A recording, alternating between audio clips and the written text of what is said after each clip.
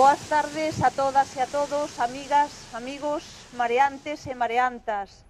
Hoxe estamos aquí para dar a coñecer esta proposta de rebeldía democrática que quere constituirse en unha marea cidadá que se leve por diante todo un modo demostradamente inservible de facer política. As mareas son os pulmóns da, da mar, desta terra atlántica. A Marea Atlántica de A Coruña en marcha xa dende hai un par de meses. A Marea de Vigo que hoxe presentamos aquí. As mareas que medran e se estenden por outras vilas, noutras cidades de todo o territorio da Galicia. Mareas cidadás constituídas en asambleas abertas nas que empezar a constituir dende nós, o povo, un proxecto alternativo de cidade e para esta cidade dende unha cidadanía activamente comprometida, activista da democracia con mayúsculas, desa que atende ao mandato que o seu nome indica, democracia, goberno do povo. Queremos o poder que é noso e sabemos que xuntas, que xuntos, podemos, porque o poder non está só nas institucións, pero tampouco fora delas.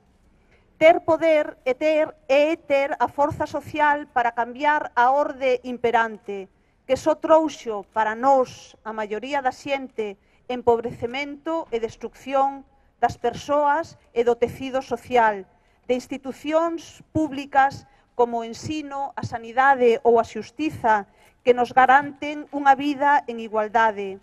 Unha política que trouxo empobrecemento, retroceso en décadas, nos máis elementais dereitos sociais gañados a pulso por, por, polas nosas loitas reivindicativas, polas nosas loitas de nós, o povo.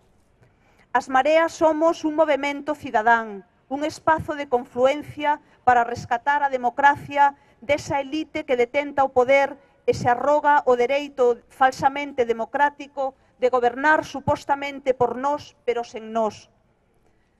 As mareas somos unha vaga de cidadanía que se sabe empoderada e capaz para autoorganizármonos e cambiar dende o presente o noso futuro colectivo. As mareas somos a unidade de acción da esquerda social e política, máis aló de calquera sigla partidista.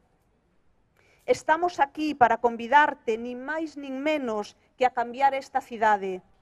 Esta posibilidade está nas túas mans serás capaz de rexeitar este convite.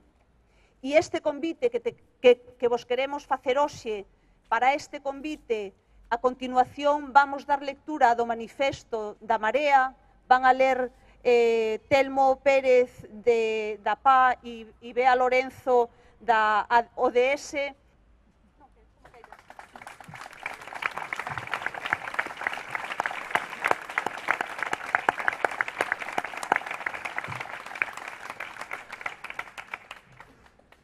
Vivimos tempos de anguria en que os centros do poder económico dirixen a política dos gobernos agredindo a maioría da población.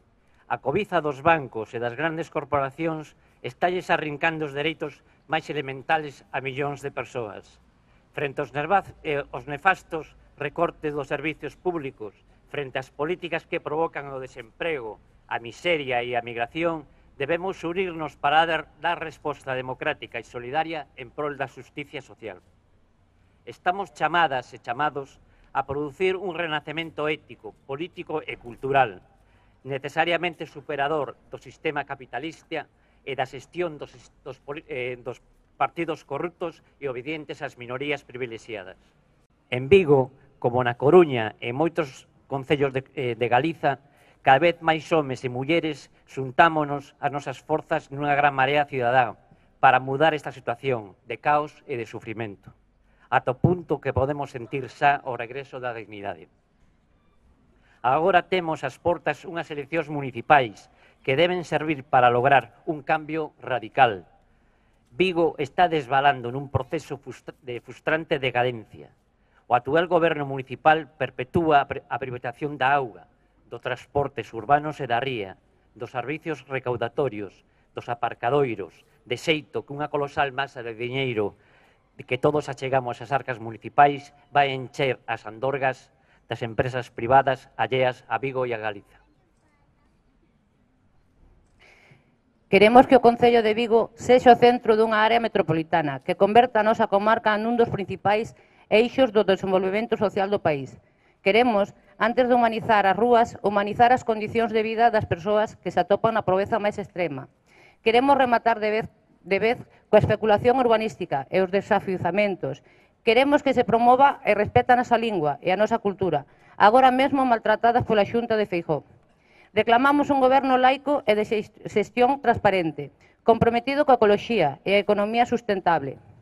Non vigo que volva a ser motor de grandes cambios progresistas e tentaremos impedir en confluencia coas opcións de esquerdas doutros concellos que as deputacións provinciais sigan sendo niños de corruptos e nepotismo, ao tempo que propugnamos a súa desaparición. Requírense novas formas de organización e participación cidadá, capaces de activar unha revolución democrática para decidirnos nós, e non as élites de quenda, en que tipo de cidade queremos vivir, Propoñemos ir rueiro por rueiro, barrio por barrio, parroquia por parroquia, para construir entre todos e todas unha política inédita de que nos libere das vellas prácticas dos partidos do réxime. Así, coa nosa forza colectiva e asamblearia conseguiremos que a marea dos que non temos nada que perder e si todo que gañar asolague dunha vez, por dunha vez estas beiras do Atlántico.